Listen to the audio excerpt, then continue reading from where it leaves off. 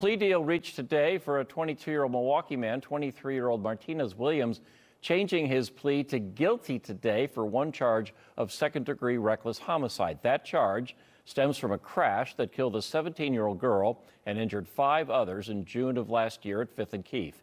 In exchange, three other charges were dropped. Williams was knowingly driving on a suspended license at the time when he slammed into a tree near 5th and Keefe. A teen girl was thrown from the car. She died at the scene. Williams will be sentenced in October.